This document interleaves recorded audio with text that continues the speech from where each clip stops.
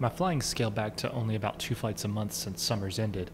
The kids are in school and our travel schedule's a bit hampered from that, but there's still plenty to talk about in TBM land, so I wanted to cover some topics that don't necessarily happen in flight.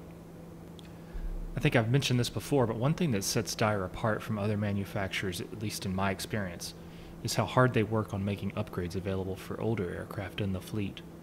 Folks like Cirrus have done a solid job on this as well, but Daher seems to take it to the next level.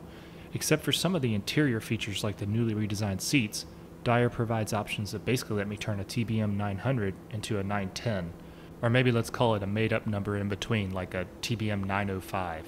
The primary thing that does that is an upgrade of the glass panel by swapping it out for the G1000 NXi. At first, I wasn't really interested in this upgrade, but the more I thought about it, the more I became convinced that I should make the change.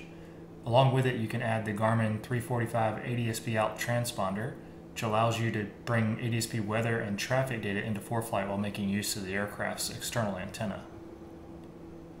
As big of an upgrade as this would appear, it seems that it's primarily swapping out a few boxes.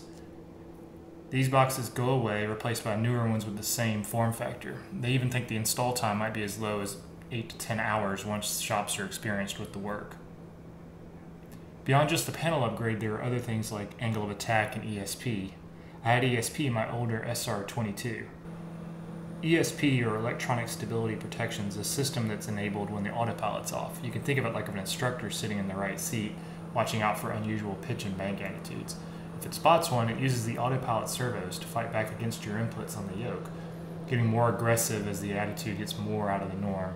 But eventually, once you get too extreme, it gives up. This system can be disabled for training scenarios as you need to, but turns on for each flight by default. I honestly never found it really useful in the Cirrus, as that's not a plane that you do a lot of hand flying with, but the idea makes sense. Angle of attack gives you two primary additions to the PFD display.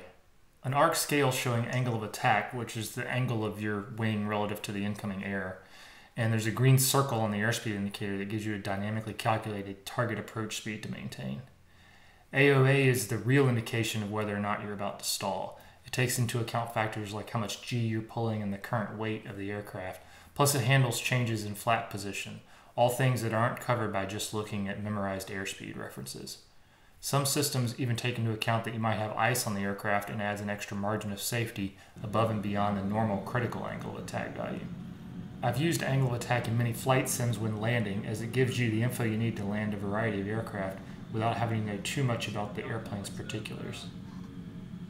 Those enhancements are nice, but I think my favorite might be the underspeed protections. These give you an audio alert if you get too slow and even push the nose down to build a little bit of speed if you're on the autopilot and get near the stall.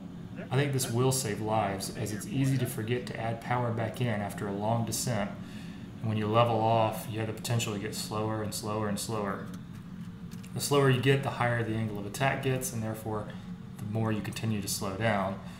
This alert gets you ahead of that and helps you correct it. Daher also has an upgrade for adding a lavatory to the plane. It takes over the room normally given to the two rear seats in the baggage area, so it really isn't interesting to me, but I'm sure for some the ability to add a bathroom is pretty valuable. So that covers some of the recent news and upgrades for the TBM. I'm sure they're working on more. I've been really impressed at how much effort they apply to keeping the entire fleet modernized.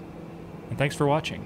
Please do add a comment with any questions or new topics you'd like me to go into.